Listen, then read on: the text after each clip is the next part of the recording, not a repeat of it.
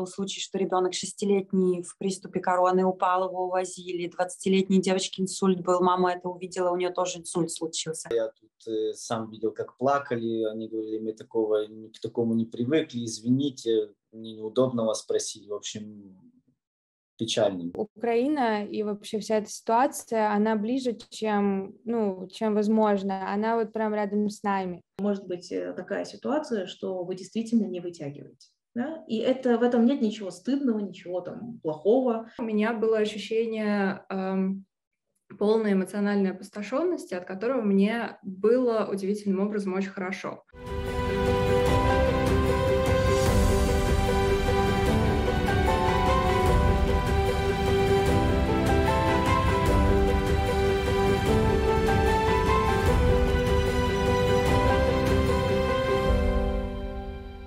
Здравствуйте! На ваших экранах телеканал СТВС, программа «Страна и люди» и я, ее ведущая Мария Волкова. Сегодня наш выпуск будет посвящен волонтерам. Тем, кто бросил все свои привычные дела и обычную жизнь и поехал на украинскую границу, или тем, кто буквально пропадает на вокзале в Берлине, встречая поезд за поездом с украинскими беженцами, или тем, кто селит у себя целые семьи, организует сборы среди коллег и друзей, работает на пунктах приема гуманитарной помощи или мотается на машине на украинскую границу, забирая беженцев. Помогает, помогает и помогает. Для всех наших героев, которых вы сегодня увидите в программе, это первый опыт волонтерства. Никогда ничем подобным они раньше не занимались, но сейчас не могли пройти мимо. Слишком трогает все то, что происходит, слишком больно. И неважно, из какой страны вы приехали, из Украины, России, Беларуси или вообще родились здесь, в Германии, и говорите на русском языке, среди волонтеров все равны. Для и украинских беженцев последнее, что интересует, это то, откуда вы, Главное – горячий чай, теплая одежда, поддержка и безопасность. Как наши герои решили стать волонтерами, что самое трудное и что им рассказывают люди, пережившие войну. Подпишитесь на телеканал СТВС в YouTube, и мы будем с вами чаще встречаться.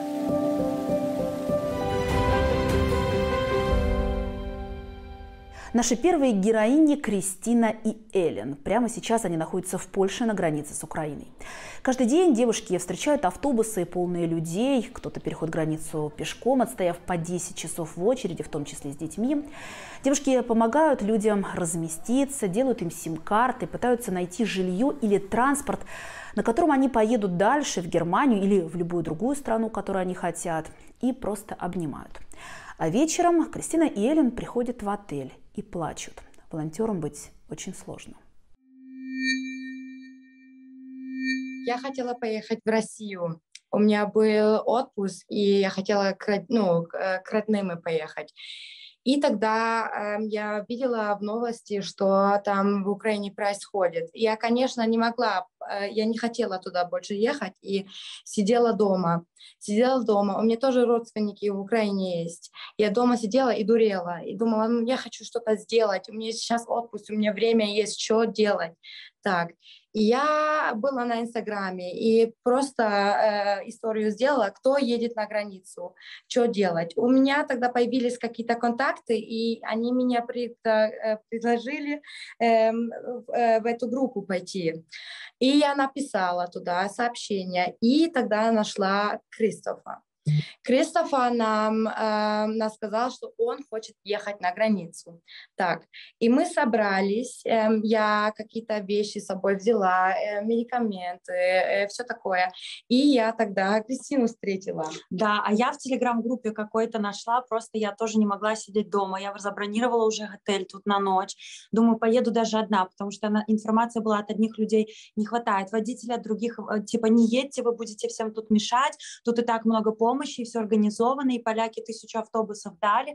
И я понимаю, что меня вот это мучает внутри. Я не знаю вообще, может, я пустая поеду и буду там просто мешать, всем не хотелось мешать.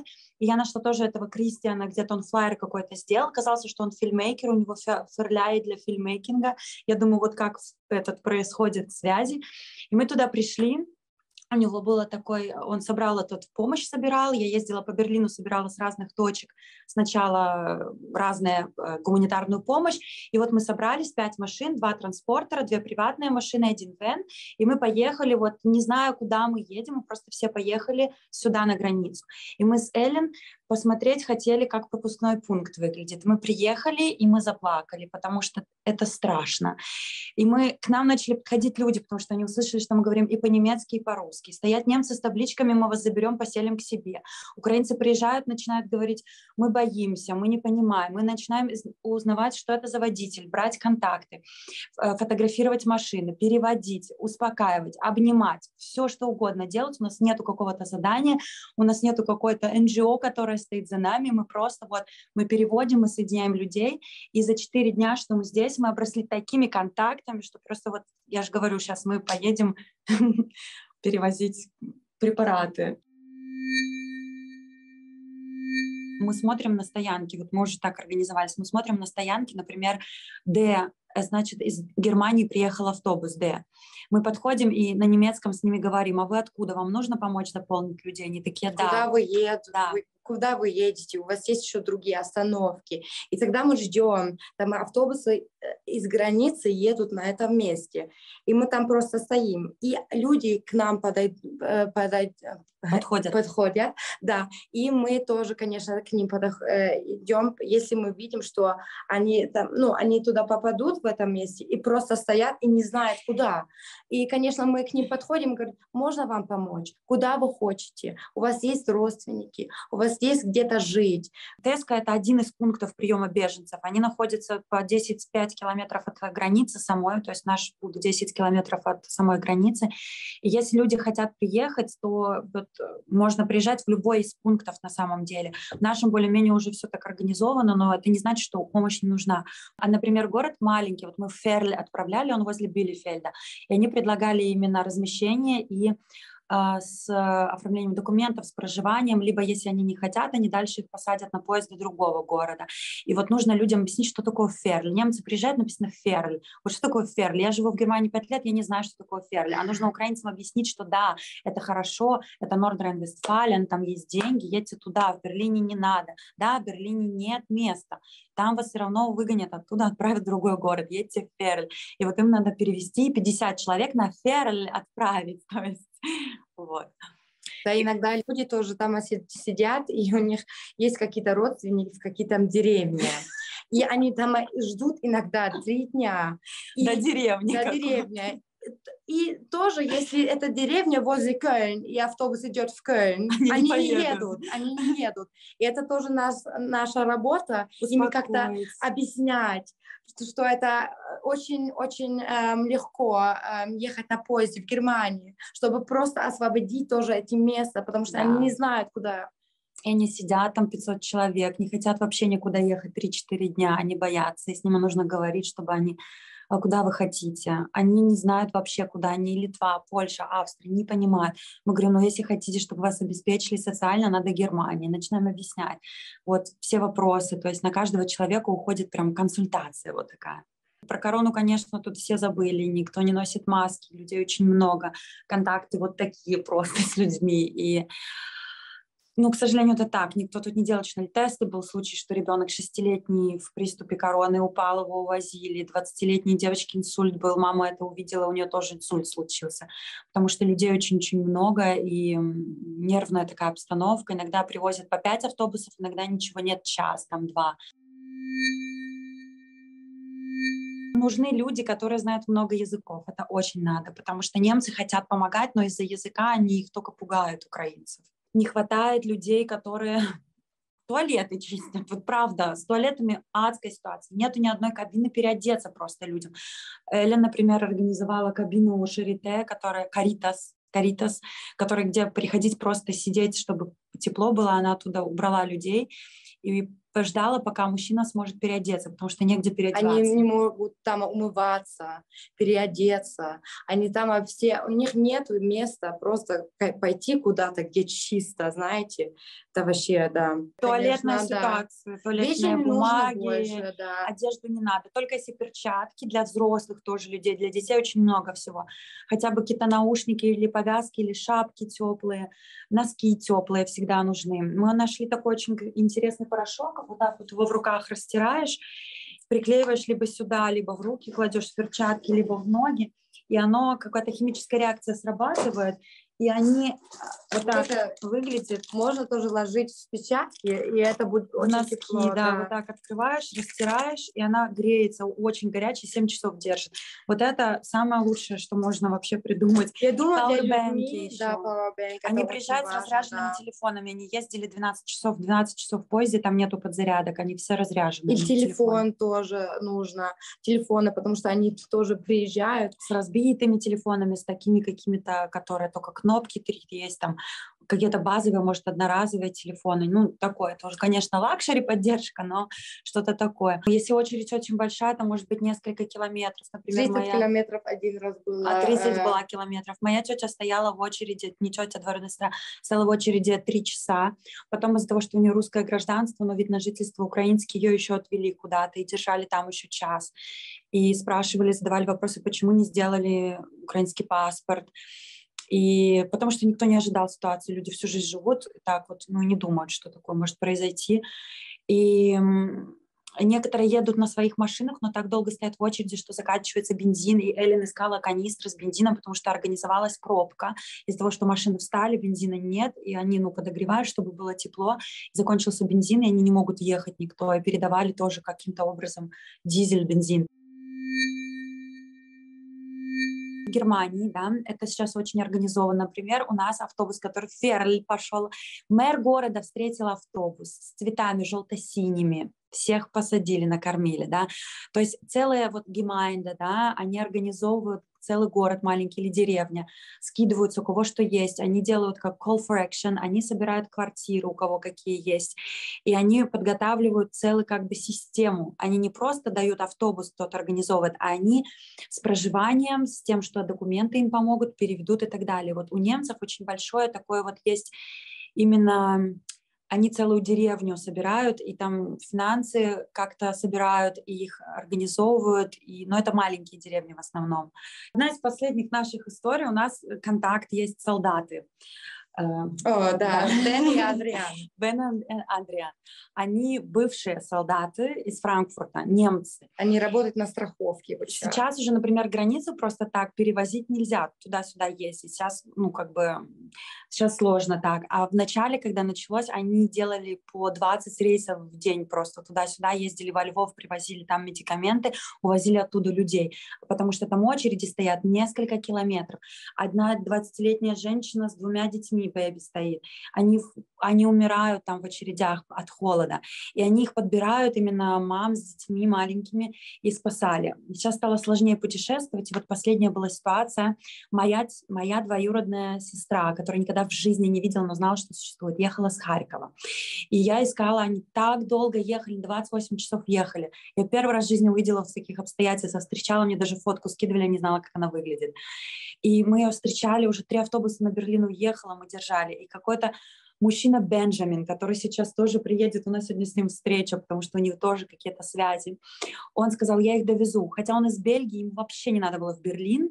Он сказал, я их просто завезу в Берлин. И он их взял и завез в Берлин. И он мне скинул контакт женщины, которая сидит во Львове с сыном, и ей нужно доехать до границы. Там 100 километров, люди едут по 12 часов. И я этот контакт передала солдатам, mm. которые вот Эллен нашла.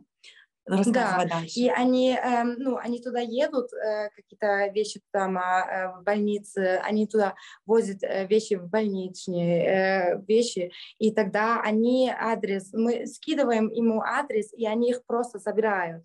Ну, мы, это, конечно, не, хоти, не хотим это забить, вот эти места, потому что они едут на границе, и на то, они тоже смотрят.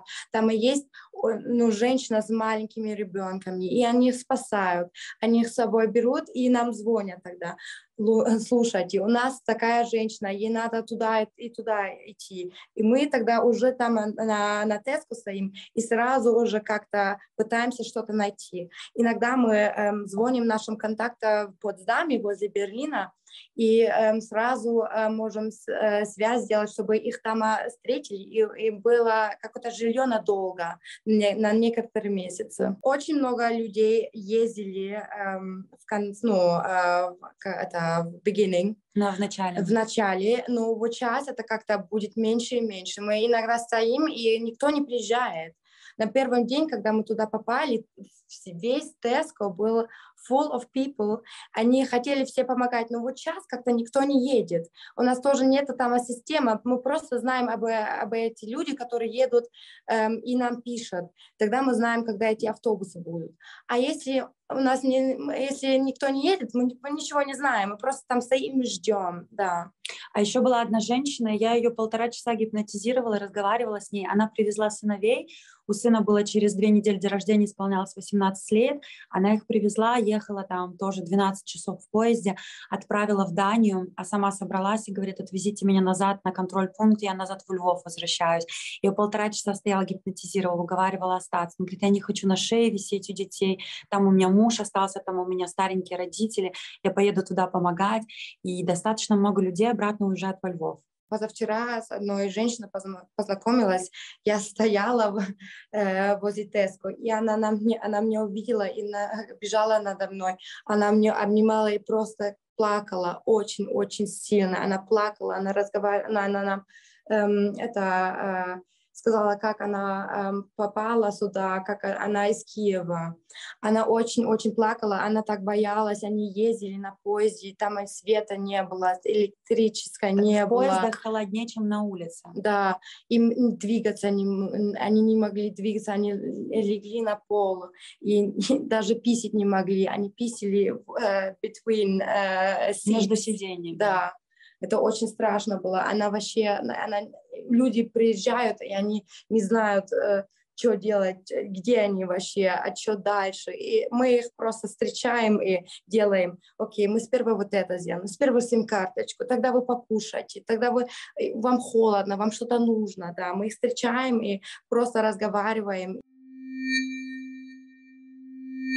Мы приехали на один день с одной парой штанов, но пять трусов. Каждая из нас почему-то взяла пять трусов. Как будто у нас чувство было, что мы знали. И мы остались, мы ехали на один день, мы просто спонтанно остались. И мы всю одежду, вот это единственное, что мы купили в магазине, потому что нам понравилось название. А так мы все насобирали в этих кучах одежды, которую мы же сами собирали на шпенды. А у нее даже ботинки порвались, и нету ботинок.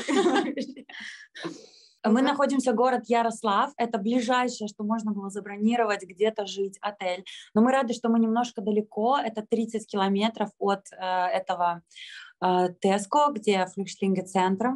И у нас есть ощущение, что мы немножко отделяемся, да, то есть мы уезжаем. Первые дни нам даже звонили в 2, в 3 ночи, в 4 утра. И это было невозможно, мы не высыпаемся. Мы и так, когда приезжаем, мы только ложимся спать в 2 ночи, потому что нам нужно тоже выдохнуть. У нас состояние вот такое психологически. И тоже надо разговаривать обо все, потому да. что мы видим друг друга весь день. Но, но мы не мы, говорим. Мы не говорим. Мы просто как организацию делаем, и все. И тогда да. мы сюда попадем, и нам надо как-то... Поговорить. Да, поддержать нас нас друг друга. Вот так вот выдохнуть. Да. И мы только к двум часам засыпаем, а потом уже завтрак заканчивается в 9 там, утра, и нам нужно уже как бы, ну, в 9 уже проснуться, и мы, получается, спим максимум там 5-6 часов, и для нас это И ну, первые хорошо. дни только три. А первые дни два-три часа спали максимум. Мы познакомились с Хелен шесть дней назад, но мы поняли, что мы, кстати, очень похожи. Да, мы очень похожи. Во всем. Во всем. Мы как-то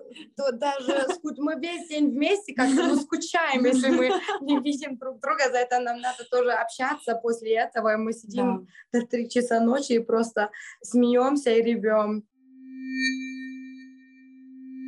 О, это так страшно было. Эм, мы, мы, я нормально там стояла и опять ждала этот автобус. И тогда ко мне подошел один э, волонтер из Поленд и сказал, слушай, эм, сейчас будет автобус эм, с, с женщинами и детей. Они видели, как другие э, женщины и детей, э, как э, русаки их застреляли. И тебе надо здесь стоять, потому что мы не можем по-русски э, разговаривать, мы их не поймем. Э, тебе надо здесь стоять и ждать, пока они пришли, чтобы просто их обнимать, чтобы просто как-то помогать. Я тоже медсестра из э, Шарите, и я подошла к врачам, э, они мне дали таблетки, чтобы ну, успокаиваться. Да, я их там ждала, и мы не знаем, знаем, что там случилось, но этот автобус пропал, и он никогда сюда не приехал. Как с Харькова. Харькова. Да, они там застреляли, вот эти люди, и они ехали, да. И они тоже стреляют на автобусы уже. Когда поезды едут, они едут так долго, потому что они едут не прямым путями, а через леса. И некоторые, когда едут в тех направлениях, как Харьков, они слышат выстрелы и все такое, ракеты как летают. Они лежат на полу в холоде, а, чтобы не видно было, да, если в окно будет кто-то стрелять, они прячутся. Дети вот так на сиденьях спят, на фотографии скидывают, тоже как это все там выглядит в поездах, это очень-очень страшно. Но они в таком шоке едут, что когда они приезжают, то тут видят наш центр беженцев, где в таких боксах стоят просто подряд кровати, и это для нас выглядит страшно, для них это просто как, знаете, они говорят, мы такое видели, что для нас это все, это вообще уже ничего не удивит. Да, это тоже как-то они туда едут и просто хотят сперва успокоиться и просто отдохнуть. Им ничего не нужно, они даже разговаривать не хотят. Да, они и мы спрашиваем, вы хотите пить, вы хотите есть? Они все, ни один человек не говорит, да, практически все сразу говорят, не, я ничего не хочу, вот так они... Они просто dead inside. Иногда они э, попадают в, эту, в такую истерику, знаете, и иногда это очень помогает просто сказать, хватит теперь, хватит, давайте, я вам чай принесу, давайте садитесь, дайте мне вам помочь.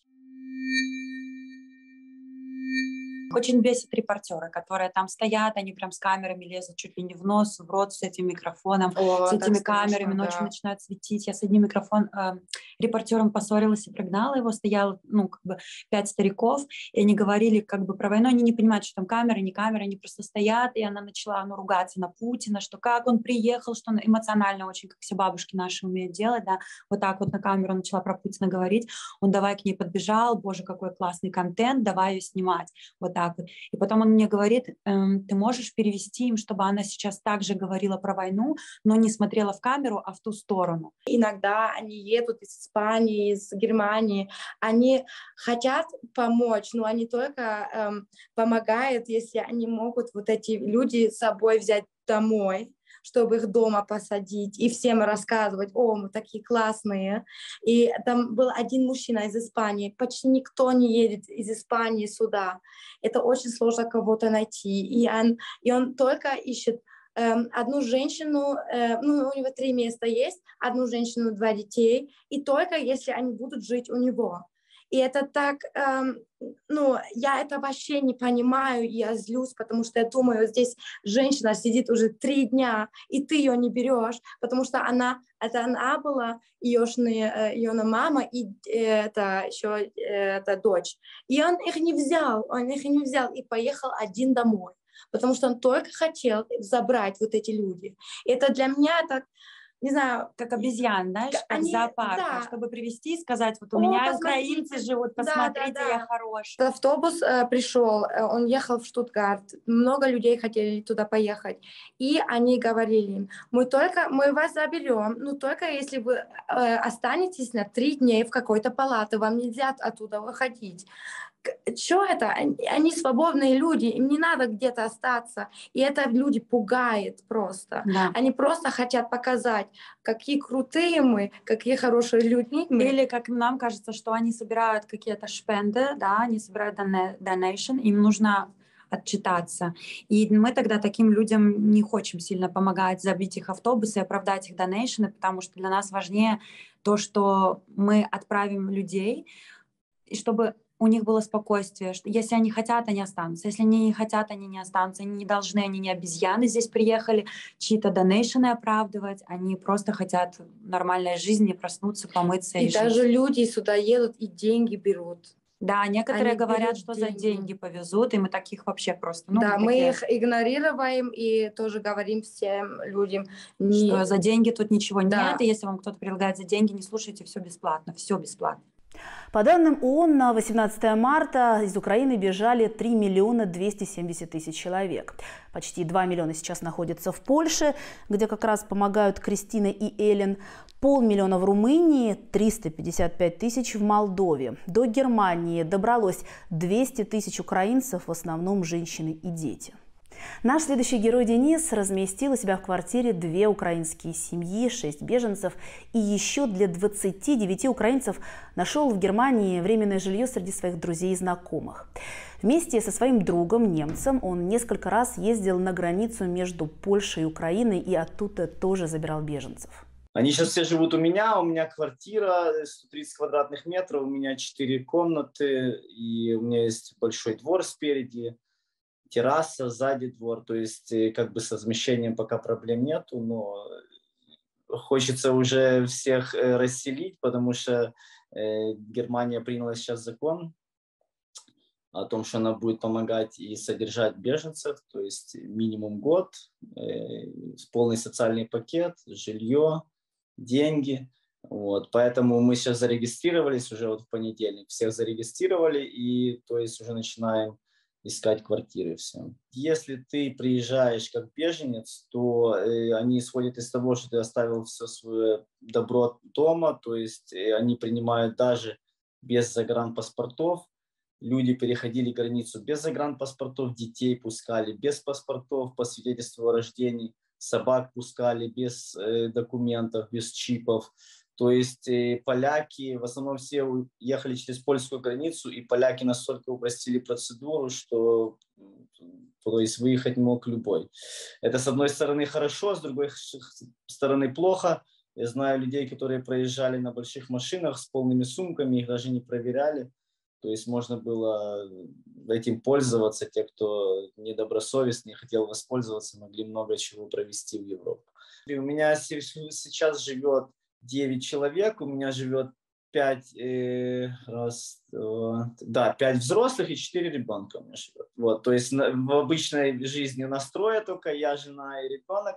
И сейчас ко мне приехала, то есть сестра жены с двумя детьми и еще одна семья, это мой друг с женой ребенком. У меня четыре комнаты, значит, в одной комнате одна семья, э, там в спальне я, жена, ребенок, и еще в детской живет сестра жены с ребенком. И у нас гостиная как нейтральная зона, то есть вот такая у нас, такой у нас быт пока что. У меня еще есть сосед Артем из Донецка. У него двухкомнатная квартира. Так вот, к нему приехали сейчас три девушки, один ребенок и две собаки. Вот. И, и они из Харькова, они тоже бежали, они очень трудно добирались, они ехали через, э, через всю Украину до Львова, их только, только сама дорога до Львова заняла у них двое суток. Вот. Они на границе стояли 13 часов, приехали в Польшу, в Польше были проблемы с ночевкой, они спали в торговом центре, сидя, в общем, было у них э, много приключений по дороге. И сейчас вот в Польше очень сложно с этим, очень много людей, большой наплыв беженцев. Так что Европа сейчас э, сорганизовалась, и все как помогают, как могут, стараются предоставлять жилье, питание, вещи, игрушки. Вот, вот это мне очень нравится, что все как бы сгруппировались и работают над тем, чтобы помочь людям. Когда вас регистрируют как беженца, сразу отдают паспорт, отдают все на руки. И то есть с загранпаспортом можно свободно передвигаться по Европе. Конечно, в Украину ехать э, не стоит, потому что сразу возникает вопрос, а зачем уезжать из Украины как беженец, если потом туда сразу возвращаться. Значит, уже сразу возникает, возникает вопрос о статусе беженца, то есть его, скорее всего, не дадут, и все льготы будут аннулированы.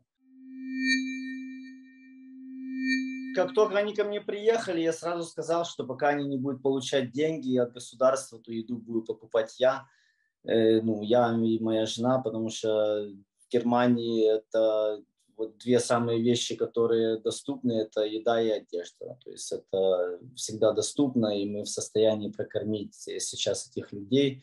Кроме того, мой друг э, Себастьян, он немец, он тоже полностью сейчас э, в этой всей теме, можно так сказать, помогает беженцам, возит, забирает. Он организовал э, сбор средств среди своих знакомых, и мы насобирали за два дня около тысячи евро. Э, мы их потратили на бензин, чтобы забрать их с Польши, потом мы потратили на еду. То есть на первое время как-то мы так с этих денег еще им покупали. Сейчас мы оформили их, и им дали уже первые деньги. Вот им заплатили деньги, то есть, и сейчас будем как-то уже вместе там сбрасываться на еду, пока они еще не нашли свою квартиру. Вот. И пойдет уже как-то полегче для нашего семейного бюджета. Если э, одиночка, то есть э, вот как, допустим, сестра моей жены, она одиночка с двумя детьми, значит, ей заплатили 369 евро на взрослого и 249 на ребенка.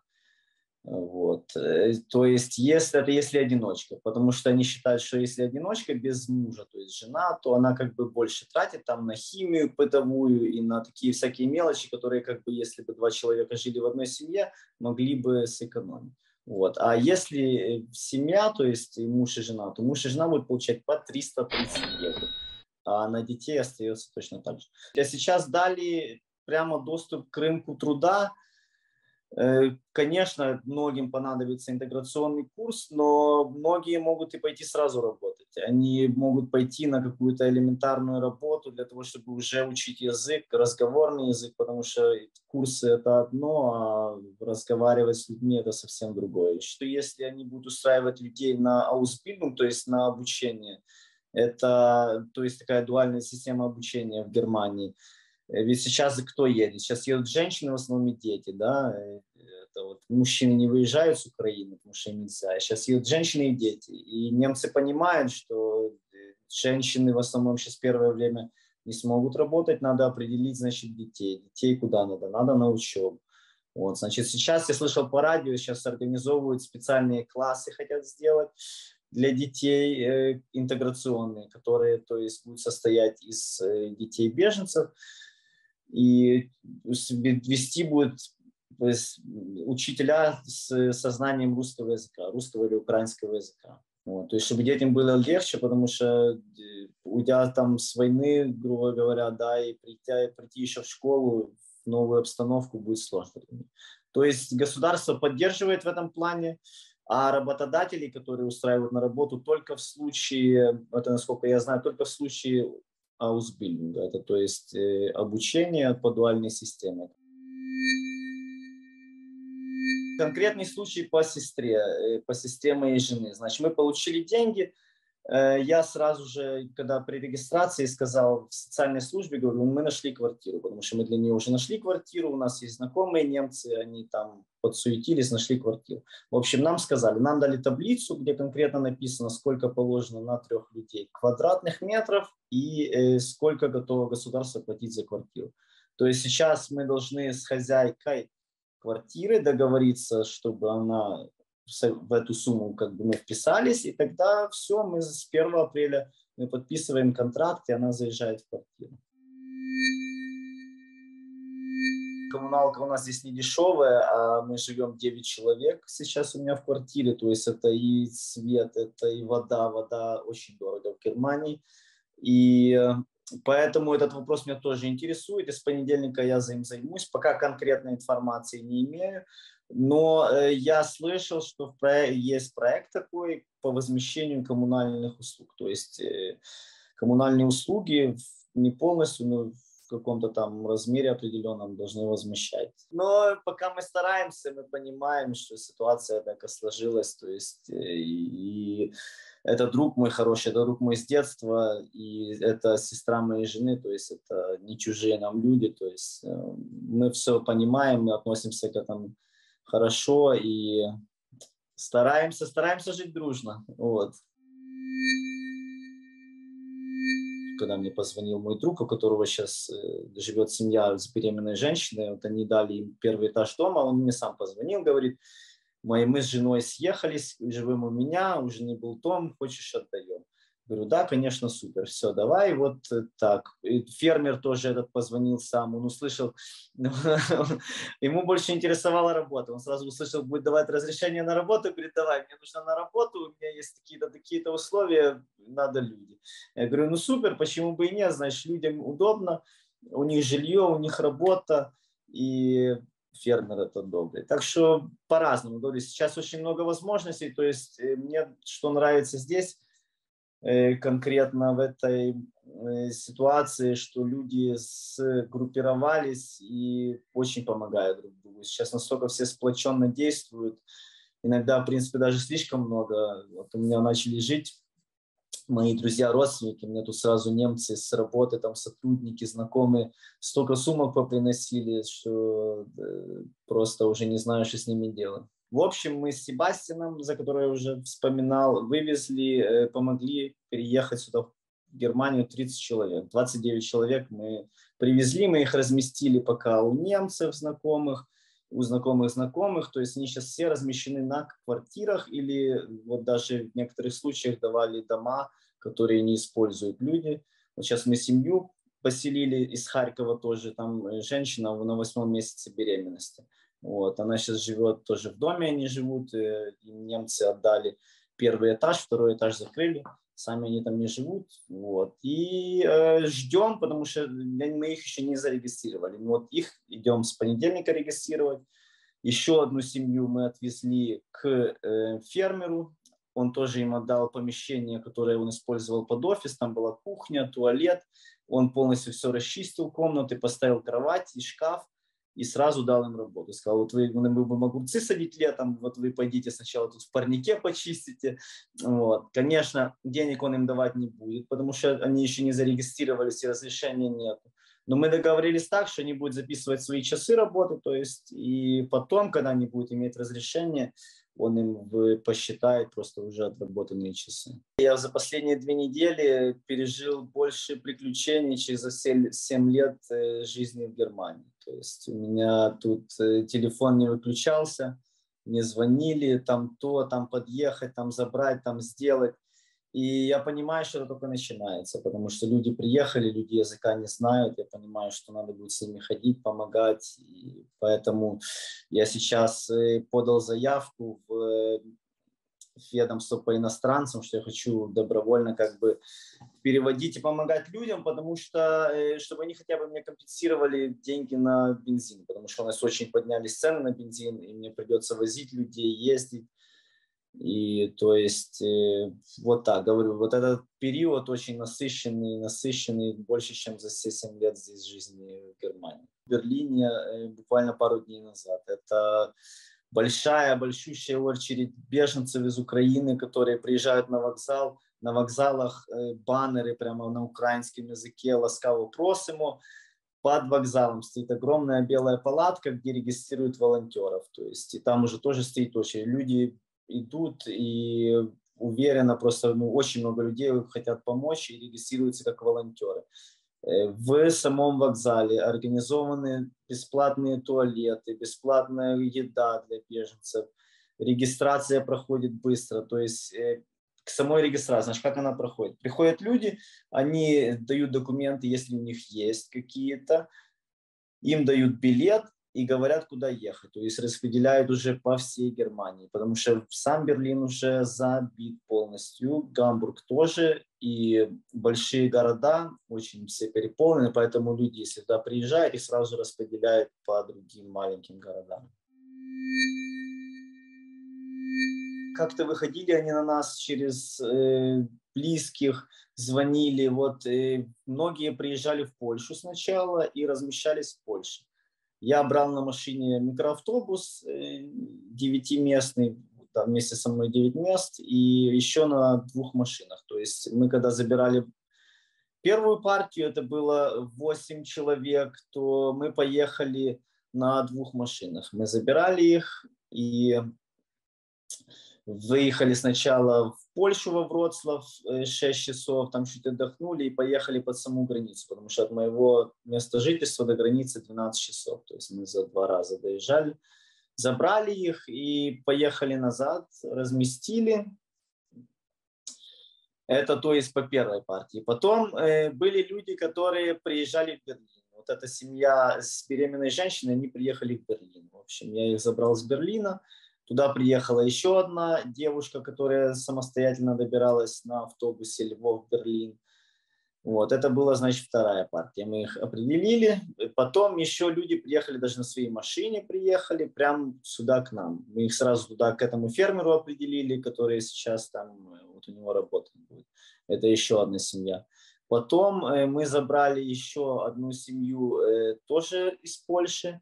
Они там снимали жилье, у них заканчивались деньги. То есть они взяли все, что было у них дома, сели в машину и поехали. Вот люди, они тоже не бедные, но мы, конечно, понимаем, что сейчас это никакого значения не имеет, так как все здесь, так можно так сказать, в одной кастрюле варятся. И вот в данном случае, сколько у кого там было денег в Украине, не играет никакой роли, потому что здесь э, никто с собой почти ничего не взял.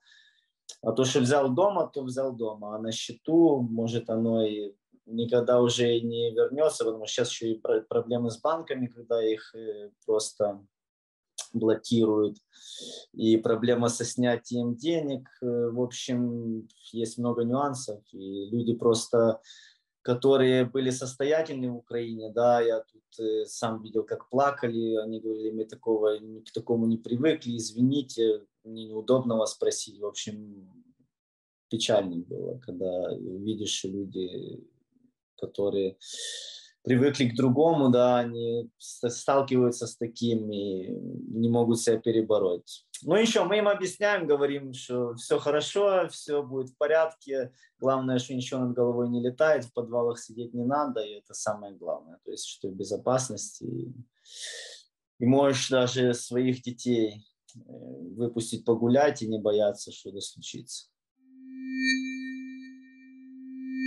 я работаю в отеле, да, и вот с 21 числа у нас будет организован пункт приема беженцев. То есть с нами вышли на контакт, э, со мной вышли на контакт как это, государственная служба, в общем, и они спросили, у нас 80 комнат вообще в отеле, они спросили, можем мы предоставить некоторые там э, количество комнат для принятия беженцев, их регистрации, пребывания в течение двух-трех дней и сколько это будет стоить. Вот, в общем, мы с ними договорились, мы, они захотели по заниженной цене, мы сделали. И с 21 числа мы будем организовывать прием беженцев. Планируется до 90 беженцев э, за раз. То есть мы имеем возможность предоставить комнаты на 90 беженцев. Будут люди с Мальтезер, я не знаю, или знаешь такую организацию Мальтезер. Это такой, как Красный Крест, тоже благотворительная организация. Значит, они в одной комнате организовали э, бюро, будет принимать, записывать. Одну комнату они сняли как комнату карантина в случае того, если кто-то больной короной, значит, будет в эту комнату садить. Еще есть опция э, заблокировать целый этаж. То есть, если будет массовое заболевание, мы всех будем переводить на один этаж и будем запаковывать им еду в отдельные в коробочке и будем просто передавать им туда на этаж. То есть, а так люди будут ходить к нам в ресторан кушать, э, значит, завтрак, э, обед и ужин, все оплачивается. И вот так будет организовано принятие и регистрация. На, на завтрак в формате шведского стола, и обед будем выдавать порционно, и ужин тоже будет в формате шведского стола. Э, немецкий холодный ужин – это булочки, колбаса, сыр, повидло и одна какая-то теплая часть. Я тут э, уже как будто в Украине побывал, э, потому что все время немцы, немцы, немцы. Сейчас такое, ну, диаспора увеличится точно. И по статистике вообще из всех людей, которые приезжают, это мне сказали в государственной службе по беженцам, э, треть, э, одна четвертая остается, три четвертых уезжает. То есть три четвертых уезжает, когда все хорошо, они говорят спасибо за помощь, мы пока. А одна четвертая остается. Каждый день число прибывающих в Берлин беженцев растет. Их уже в разы больше, чем на пике миграционного кризиса в 2015 году. Тогда в сутки приезжало на центральный вокзал Берлина около тысячи беженцев из Сирии, Ирака и Афганистана. А сейчас в некоторые дни приезжало около 7 тысяч, то есть 7 раз больше украинских беженцев. На вокзале для беженцев организовано несколько зон. В одной можно получить еду и напитки, в другой стоят открытые коробки с детской одеждой и обувью. Отдельно взрослые вещи, отдельно детские, отдельно подушки, одеяла и пледы. В третьей зоне товары для самых маленьких, детское питание, подгузники, влажные салфетки. Целый отсек есть для животных, там корм, ошейники, корзинки. Детский уголок, детская комната, там можно взять игрушки. Есть медпункт, организованный немецким Красным Крестом. Именно сюда, на центральный вокзал Берлина, в свой первый день волонтерства пришла наша следующая героиня Ирина. Она помогала и днем, и ночью. Кстати, ночью самый большой дефицит волонтеров. Поезда продолжают пребывать и ночью, а волонтеров в разы меньше. Сейчас в квартире у Иры живут две беженки из Украины, а сама Ирина переехала жить к родителям. А, вообще все мои опыты с помощью, а, с помощью украинцам, которые сейчас приезжают в Берлин, получились очень спонтанно. А, во-первых, а, во-первых, я сразу сразу зашла в блог, который мне посоветовала подруга в Телеграме, потому что у меня есть квартира, которую я имею возможность кому-то отдать. Я там обычно живу, но сейчас у меня действительно есть возможность кого-то туда запустить. И э, моя подруга приняла у себя семью, и я подумала, почему бы мне не сделать это тоже. А, поэтому я начала мониторить, что люди пишут в этом открытом чате в Телеграме, который называется Berlin Helps Ukrainians. И э, в один, э, ну, в один момент, э, в какой-то в какой-то из дней, я заметила, что две девушки э, приезжают в Берлин, и им нужно где-то остановиться. Поэтому я очень спонтанно предложила им остановиться у меня. Они оказались э, невероятно прекрасными, светлыми, чудесными девушками, которые, кстати, ко мне сейчас приходят на ужин через э, минут сорок. А, и я очень рада, что я им помогла. Они приехали сюда из Одессы. А несколько дней назад, как раз когда было 8 марта и в Берлине был выходной день, мой молодой человек решил сделать э, сэндвичи и пойти а, и пойти на главную станцию. Я думала, что я в тот день э, в тот день буду принимать у себя девушек, но они не успели взять билет на тот день, поэтому у меня освободилось время. И я просто помогла ему сделать сэндвич и пошла вместе с ним. Сначала э, мне показалось, что а, в общем-то, помощников достаточно и без меня, потому что меня удивило, насколько берлинцы отозвались, насколько много было волонтеров и насколько сильно желание людей помочь. А потом к нам подошла женщина, которая, которая хотела задать вопрос по сим-картам, и а, так я единственная в группе говорила по-русски, начала ей отвечать. Таким образом, я провела на станции часа четыре, наверное, отвечая на вопросы людей, мы, а, нам удалось всем вместе совместными усилиями а, помочь девушке, приехавшей одной 18-летней из Николаева, где сейчас очень сложная ситуация на Украине, а, найти жилье на месяц. И ты знаешь, в конце дня у меня было ощущение полной эмоциональной опустошенности, от которого мне было удивительным образом очень хорошо. Потому что у меня, как и у многих людей, наверное, с 24 февраля ощущение постоянного стресса, э, беспомощности и, наверное, горечь от того, что я ничего не могу сделать. Но после того, как ты 4 часа людям действительно помогаешь, ты видишь результаты своей помощи, результат своих действий, то э, как бы каким бы уставшим ты себя не чувствовал после этого, у тебя появляется ощущение, что ты что-то изменил, ты что-то сделал. И э, чисто с эгоистичной точки зрения, мне кажется, мне кажется, кому-то сейчас помогать и делать так, чтобы э, ну, жизнь хотя бы одного человека стала немного лучше и легче, все-таки приносит в том числе э, удовлетворение и пользу нам всем. А сестры из, из Одессы, которые остановились у меня, а, им 26 и 18 лет, они уехали спонтанно, их родители остались э, в Одессе. Они, они уехали, потому что они больше не могли жить в страхе. А, то есть каждую ночь они спали одетыми в ванне, эм, ставя будильники на каждые два часа, чтобы случайно не проспать э, воздушную тревогу и, эм, ну, собственно, случайно, чтобы случайно чего-то ужасного не случилось. И э, после э, энного количества дней такого существования, жизни в таком режиме, они решили просто уехать. А девочка, которой 26 лет, которая работает э, в Киеве в креативной сфере, вообще, наверное, наверное, заразила меня оптимизмом в том числе, потому что, а, потому что она приехала и она рассказывала о а, том, насколько ощущается, а, насколько духоподъемная, а, с одной стороны, ужасающая, а с другой стороны, духоподъемная ситуация сейчас, когда люди друг другу помогают, люди друг за друга стоят, и а, ощущается какое-то единство. И девушки, девушки на самом деле прекрасно прекрасно ориентируются в Берлине, они уже нашли, чем здесь заниматься, они э, нашли информацию про языковые курсы, которые, возможно, понадобятся многим, э, особенно молодым людям, которые сейчас сюда приезжают, потому что, насколько я понимаю, есть какие-то гранты э, для молодых людей, приезжающих из Украины, по которым можно изучать языки. То есть э, за сестер я спокойна. за сестер я абсолютно спокойна, и я рада, что они тут. И э, я очень надеюсь, что, ну, они тоже надеются, что очень скоро они вернутся домой, вернутся к своим делам, и э, по Украине довоенной они очень скучают. Э, что понятно, собственно.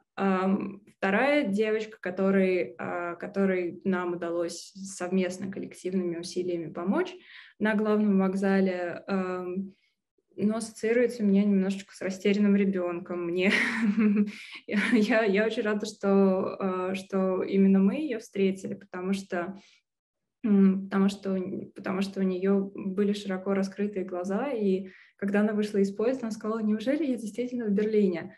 А, и, э, ну, да, она уехала из Николаева, ее родители, ее семья осталась там. Ей от этого очень тяжело. А, и я ее связала с моими девушками из Одессы, которые гораздо более прошаренные, которые уже совсем разобрались. Мне кажется, что они вместе смогут а, скооперироваться и а, как друг другу тоже помогать и поддерживать друг друга. Сейчас приезжают люди совершенно, в совершенно разных ситуациях. Приезжают люди, которые остались без всего, у которых а, разрушены дома, а, в которых они жили. Приезжают люди, которые просто не могут больше бояться. Приезжают абсолютно разные категории людей. Мне кажется, что, что если вы идете волонтером на главный вокзал условный, то нужно принимать тот факт, что люди не идеальны, и э, вы, вы помогаете, при этом не, не, не обязательно нужно ждать взамен какой-то искренней отдачи, невероятной благодарности и так далее, и так далее. То есть э, пару дней назад когда я встречала, а, когда я встречала на вокзале подругу моей мамы, которая тоже сейчас приехала из Украины, из города Черкасы, а, я наблюдала ситуацию, а, ситуацию того, как взрослый мужчина, я, кстати, не понимаю, почему он там был, потому что вроде как взрослым мужчинам в возрасте между 18 и 60 годами нельзя выезжать из Украины. Но, тем не менее, вот этот мужчина был на главном вокзале, и кричал на девушку-волонтера, потому что железная дорога должна ему возместить э, пропущенный билет. То есть он не успел на поезд, и он ожидал, что ему без очереди возместят его бесплатный билет. Когда он ушел, девушка-волонтер повернулась ко мне и сказала, что это полный кошмар. Девушка, кстати, была из Украины, а, и э, она выразила, она выразила очень прямолинейно свое возмущение. Бесплатные сим-карты должны быть э, во всех пунктах, где встречают прибывающих из Украины. Но это в идеале. А, на самом деле сим-карты очень быстро заканчиваются, и а, если вы, как беженец, прибывая из Украины, не обнаружили а, на стенде сим-картами ни одной свободной сим-карты, то вам, скорее всего, придется ее купить. То вам придется заплатить где-то около 20 евро, если вы ее покупаете сами. Если вы ее не, не хотите или не можете купить сами, то свяжитесь с волонтерами, возможно, вас запишут в какую-нибудь очередь или помогут, э, объяснят, как дождаться бесплатной сим-карты. На вокзале в Берлине первые дни стояло очень много берлинцев с табличками, которые предлагали бесплатное жилье, но сейчас таких табличек на вокзале практически нет. Берлин переполнен, но предложения можно найти по всей Германии вот на этом сайте unterkunft-ukraine.de. На нем дали объявление о предоставлении жилья в Германии уже для 150 тысяч украинцев. О своем опыте волонтерства расскажет наша следующая героиня Елена. Я решила помогать беженцам, потому что я почувствовала, что я не могу находиться а, в стенах своей квартиры и быть непричастной, а, потому что часть моей семьи находится в Украине, часть семьи в России, и я как почувствовала такой свой человеческий долг э, помочь хотя бы хоть как-то. Начала я с того, что находила различные э, ссылки, проверяла ресурсы, куда можно отправлять донаты для гуманитарной помощи. Э, проверяла все эти ссылки, ресурсы и отправляла своим друзьям и людям, которым вообще необходимо кто хотел помочь, потому что у меня очень большое количество коллег и друзей иностранцев, и в первые дни совершенно было непонятно, чему доверять и как слать, и люди интересовались. Потом, когда анонсировали, что а, будут приезжать поезда из э, Польши, из Чехии в Берлин, я начала сначала смотреть информацию, как вообще происходит эм, как происходит, как идет пассажиропоток, что нужно, какие меры принимает э, и предпринимает эм, город, муниципалитет. И сначала моя подруга пошла помогать, она приняла женщину, беженку э, к себе домой на ночь, потом помогла ей найти жилье и дальше э, отправить э, спокойно в, в другие части Германии. Э, после этого мы как-то списались с другом и решили, что мы пойдем на главный вокзал, что нужны волонтеры в первую очередь русско и русскоговорящие, потому что волонтеров немецкоговорящих и англоговорящих довольно много, а, все хотят действительно помогать, а, но часто ощущается нехватка именно русскоговорящих. Я встретила девочку, а, которая приехала с Херсона, она добиралась сама, доехала до Берлина, э, была уже ночь, и я ее просто забрала к себе домой переночевать, и потом ей найти жилье и помощь э, в Берлине, потому что уже было как бы поздно. Э, девочка очень замерзла, и не хотелось ее еще больше морозить на вокзале и на улице. Э, есть основной телеграм-канал, э, который э, называется Ukraine Berlin э, Arrival Support, а, и там люди коммуницируют, общаются по поводу того, куда, что и как им нужно обратиться. Также есть разные телеграм-каналы по вокзалам. Например, э, телеграм-канал называется Train Bus Arrivals in Berlin from Poland. А, там а, публикуется э, вся информация по всем поездам, которые приходят, сколько человек чаще всего на борту. И также ну, в этих телеграм-каналах есть различные а, ссылки и ресурсы на другие. И сейчас вся координация на самом деле э, уже довольно централизовалась. А, люди могут э, также с этих каналов пройти по ссылкам, посмотреть, какие нужны а, продукты или вещи на данный момент на вокзалах, а, либо это нужно в центр беженцев, и информацию, как эм, зарегистрировать себя как волонтер. Я встретила очень много действительно классных людей, которые просто приходили и помогали. Я встретила одного замечательного мальчика, художника из Одессы, который просто подошел и спросил, я, говорит, хочу разместить кучу человек в своем арт-пространстве, что мне сделать? Я ему просто сказала, напиши бумажку, объявление, что ты э, готов принять людей. И э, мне кажется, что это самый лучший и благоприятный способ э, тревожным людям справиться с ситуацией, с тревожностью, которая происходит во всем информационном и вообще мировом пространстве.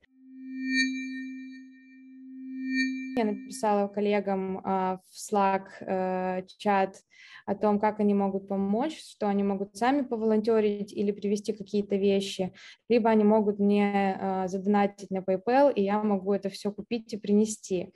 В итоге мне коллеги э, скинули довольно большую сумму денег, и в принципе, все выходные я провела в том, что я закупала вещи, закупала продукты, привозила их на вокзал, и я их возила не сразу все разом, а партиями, потому что какие-то что-то нужно было, что-то было нужнее, что-то было менее нужно, и потом э, оказывалось необходимым. Сейчас у меня пока никто не живет, э, я тут немножко сменила э, фокус. А, дело в том, что мы в моей компании на работе сейчас тоже думаем над э, способами, как помогать людям, и в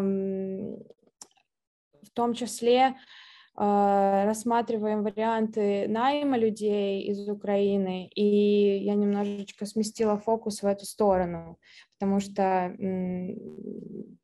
это важно тоже людям тоже нужна работа. А как восстанавливаться самим волонтерам после тяжелых дней? Как справляться со стрессом и с теми эмоциями, которые захлестывают? Эти вопросы мы задали психологу-консультанту Наталье Станкевич. Во-первых, э, надо отдыхать.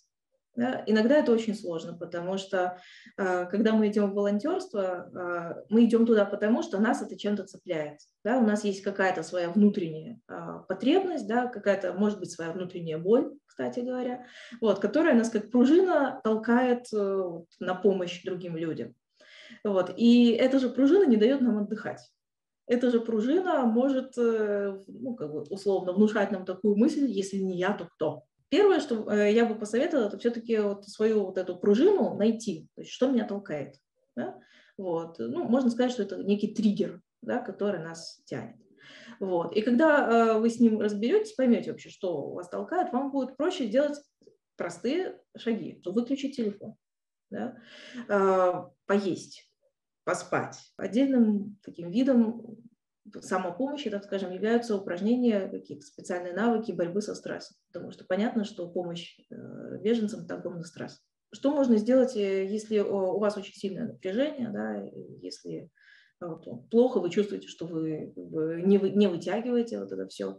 Да? Ну, во-первых, я сразу говорю, что может быть такая ситуация, что вы действительно не вытягиваете. Да? И это, в этом нет ничего стыдного, ничего там плохого да, э, возможно, вы просто действительно глубоко чувствующий человек, такой восприимчивый, да, которому вот этот вот вал этой боли, да, он непереносим. И тогда первое, о чем стоит подумать, возможно, вы можете помочь где-то в другом месте. Может, вы будете сортировать гуманитарную помощь где-то, это тоже очень полезно, при этом вы не будете общаться вот непосредственно с людьми.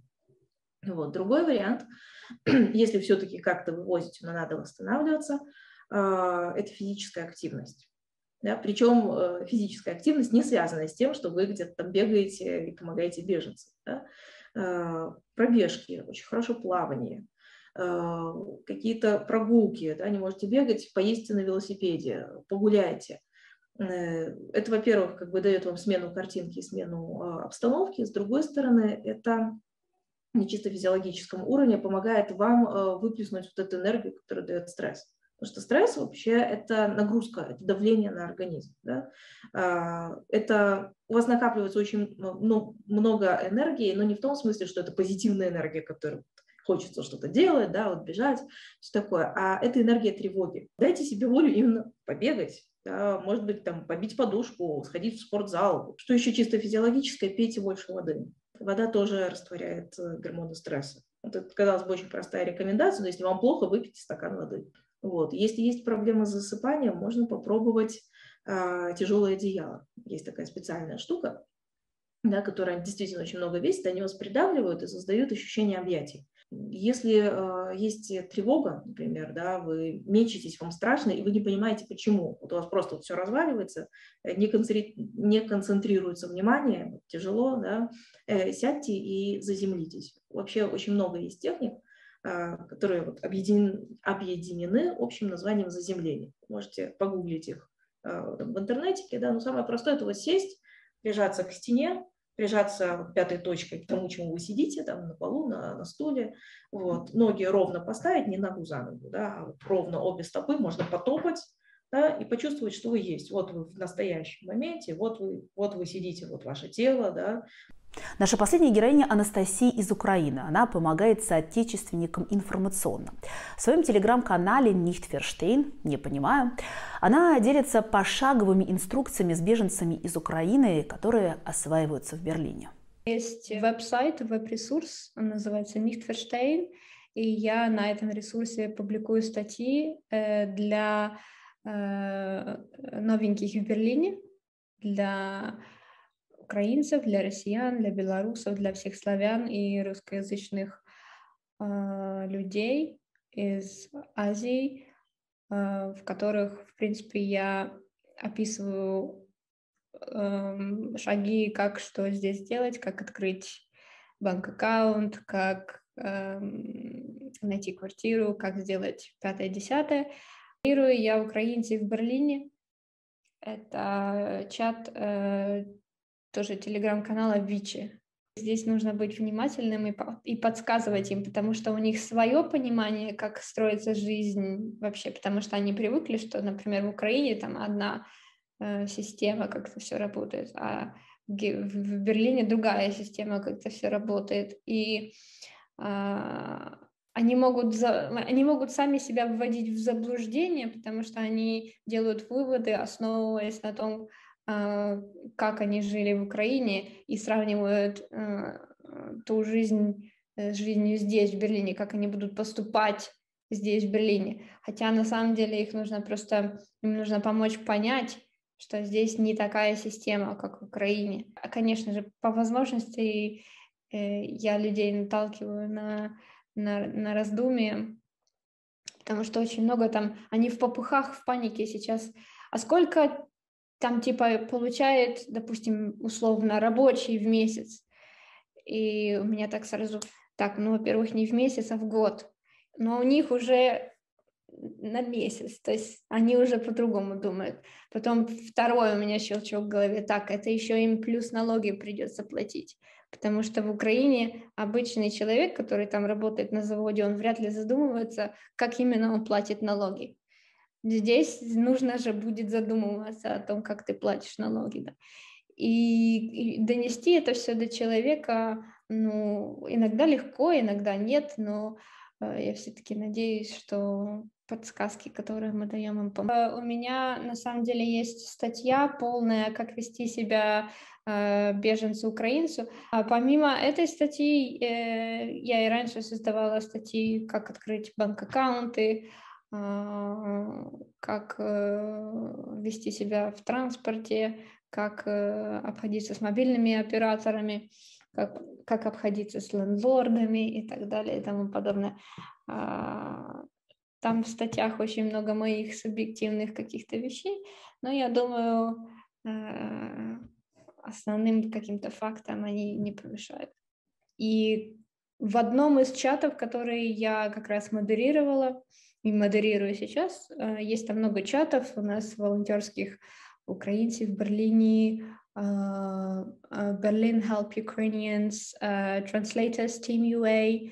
Это все ребята, которые так или иначе помогают помогают людям, которые убегают из Украины. И, э, судя по всему, я точно не спрашивала.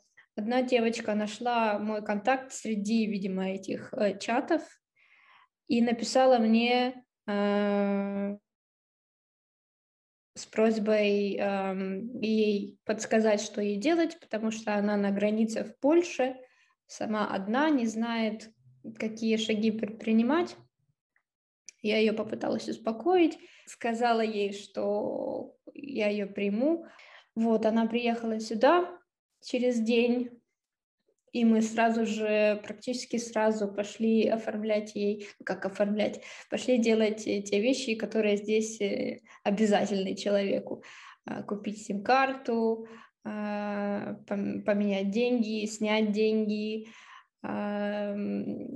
опять же, мы ходили там по Кройсбергу, пили кофе, э, я пыталась держать, э, ну, как бы нормальную обстановку, никаких соплей, никаких слез, все как бы, ну, как нормальный день.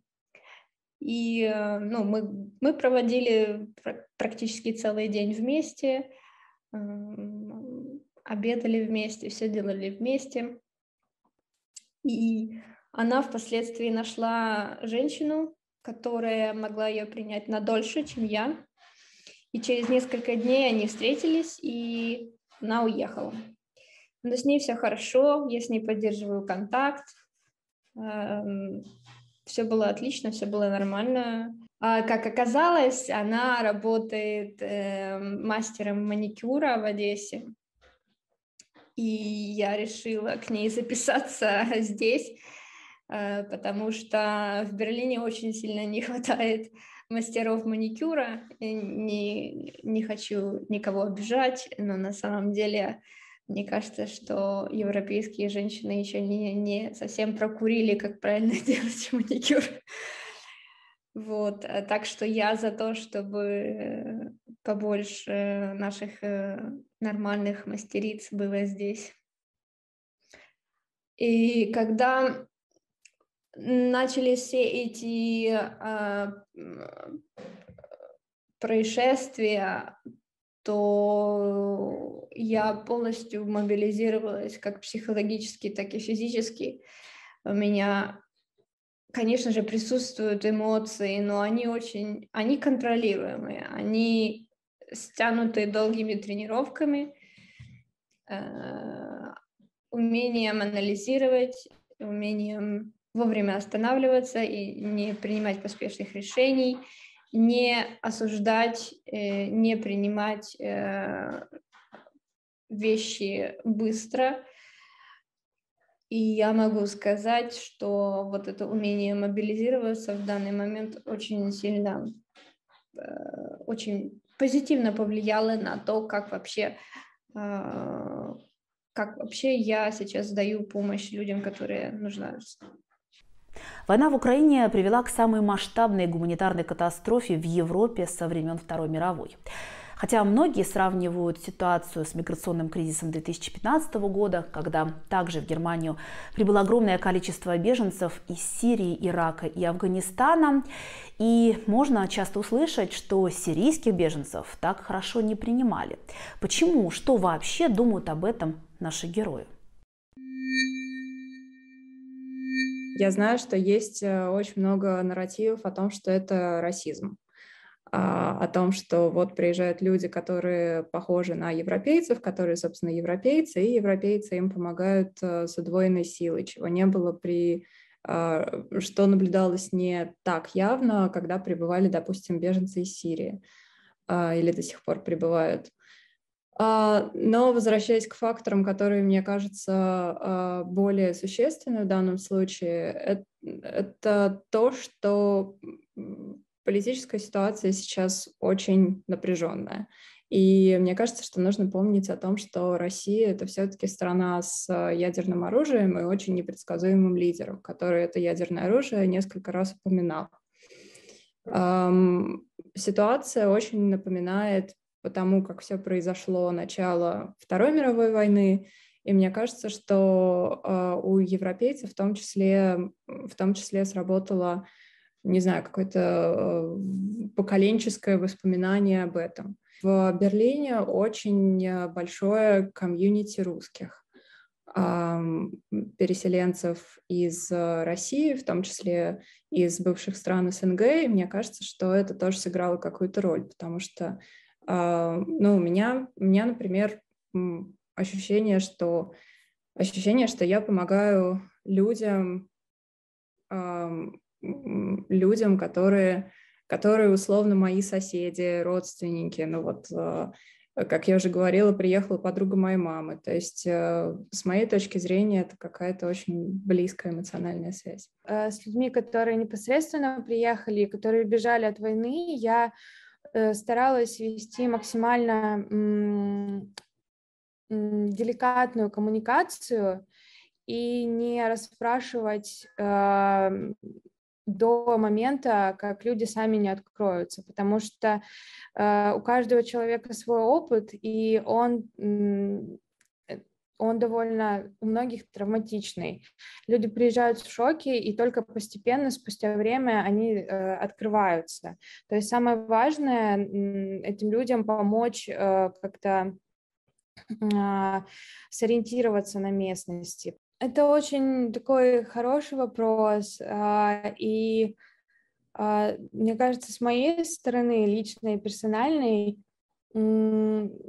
я могу сказать, что ну, Украина и вообще вся эта ситуация, она ближе, чем, ну, чем возможно. Она вот прям рядом с нами. И поэтому люди стараются, ну, насколько могут помочь соседям. И как по-другому я не знаю, как-то выхода не вижу и другого объяснения.